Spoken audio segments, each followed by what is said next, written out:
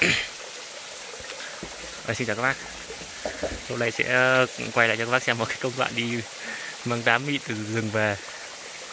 Đá này thì có độ mịn khá là mịn nó khoảng độ à, bảy tám nghìn lít đây nó này bác này. Quay trước một cái video review thôi. Đó, cái loại đá đen sừng trâu á.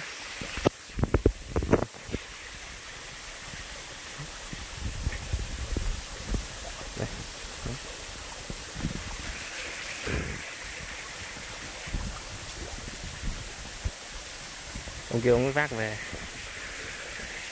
Xa. trời này vừa mới mưa này là đi đường cũng khá là nguy hiểm. Mình đi thì chẳng trượt thôi.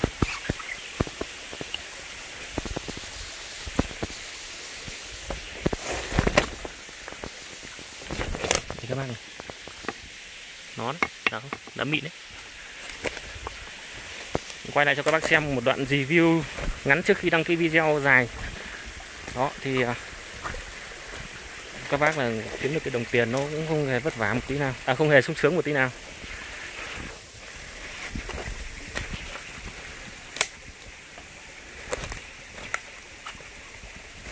Rồi, xin chào các bác nhé giờ đang tìm đường ra.